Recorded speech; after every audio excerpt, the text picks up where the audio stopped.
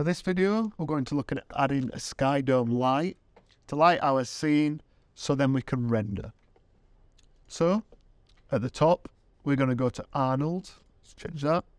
We're going to go to Arnold, Lights, and Sky Dome Light.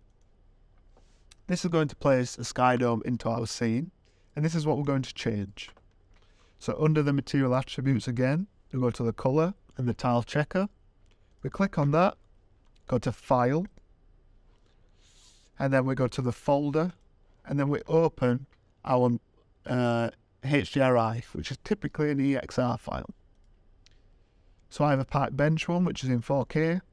So I open that, and it places that into the sky dome. Now this is lighting our scene, but you may not be able to tell. All we need to do is turn on this light setting. This will show some lighting. Now it will look wrong, but that's okay because in the render view it will look fine. Now there may be a couple of things that we want to change. So we may not be happy with the intensity of the lighting and we may not want the background to be rendered in our final renders.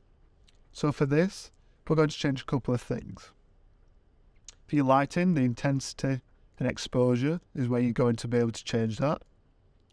We want to up the samples to around 3 so then we get better lighting overall. And under visibility, we want to turn the camera down to 0. Now this removes the background in our renders and gives us a transparent background. So now we can go to Arnold and render and see how our render is actually looking. Now this is the first time, it may take a few minutes to load in to the render view.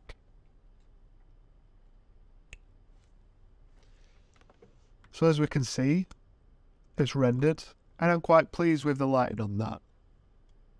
However, you may not, so you may think it wants more intensity. So as you're up in that, it will update real time. So it's good to have the render view open whilst are changing the lighting in the scene, because then you're going to get a better understanding of how it's affecting it.